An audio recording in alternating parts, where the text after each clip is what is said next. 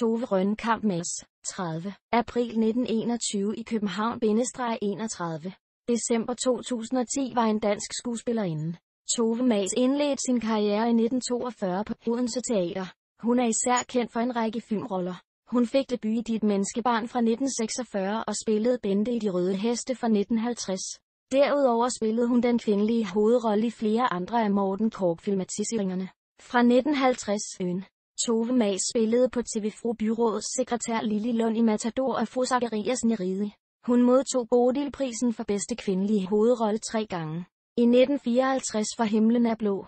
I 1971 for Det er nat med fru Knudsen og i 1983 for Felix.